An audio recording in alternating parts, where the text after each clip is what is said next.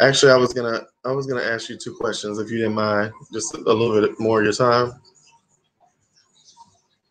Sure. Do you know whether you're gonna go to heaven when you die? I'm sorry. Do you know whether you're gonna go to heaven when you die? I am not sure. You're not sure. I have no idea about that. So why why should God let I you into heaven? sure.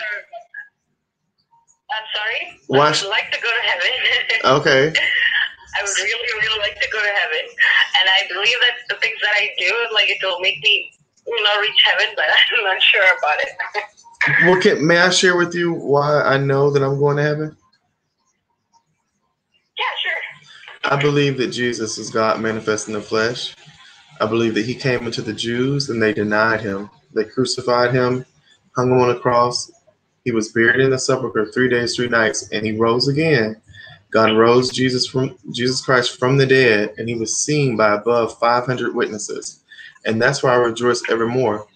It's not because I have repented of my sin to be saved. It's not that I trusted in uh, Jesus to, to be saved. I'm, I, I have faith in Jesus. I'm following Jesus. It's none of that. It's only believe. It Okay. says in John, it says in John 3:16, whosoever shall believeth on him, his only begotten son, shall be saved and not and not perish and have everlasting life. So if you believe on that, then you'll have eternal salvation and you'll be redeemed on the day of the Lord. Do you believe that? Uh, I'm I wouldn't be able to say that over the phone right now because um, this is. I don't believe that this is a platform where we should share. Well, this is I mean, this is this is real life. This is real life. It's every day for me. This the the little bill that you called me about is not as important as your soul or my soul. So th- this life is only a moment, and it has nothing to do with you. It's all about believing on Jesus because He is the only way to heaven.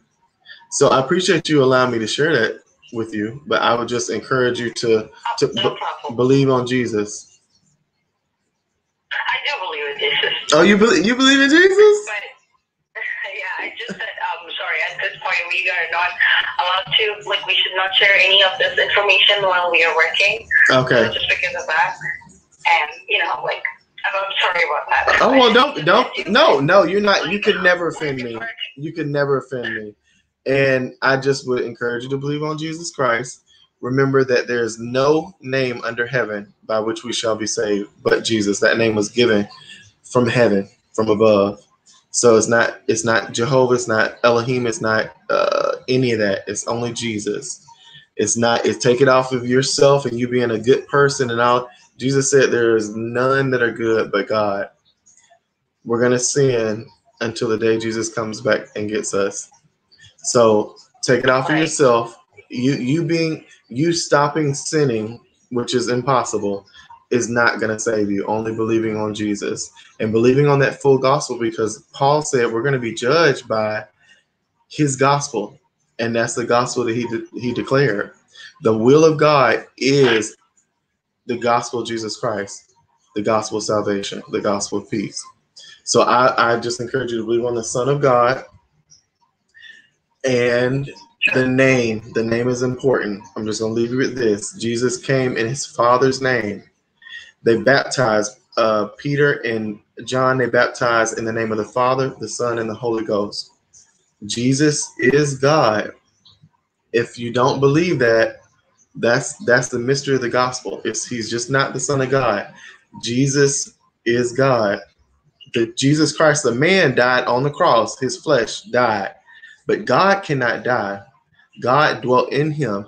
The full bodily Godhead dwelt in Jesus. But Jesus is the only begotten. He was the only begotten of the Father. So he is God. He's the Son of God, and He's the Holy Ghost. That's the mystery of the gospel. I just encourage you to believe that, and I appreciate you for allowing me to share that. Take it off of yourself. I spent ton, plenty of years relying on the things that I do. You could never put God in debt. Don't put yourself back in bondage. Don't put yourself back under the law. Because if, if we offend the law in one thing, we, we're guilty in it all. So you're not going to be able to only only Jesus lived a sinless life. So believe on him and I want to see you in heaven and I pray in the name of Jesus that you believe that with all your heart and you're just not saying that, but that you believe that. Sure. Thank you. Thank you for your prayer. All right. Thank you so much. You have a great day. You too. Take care. Bye bye. Bye-bye.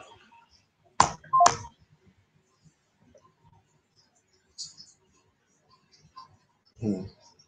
They gonna get Jesus. They gonna get Jesus.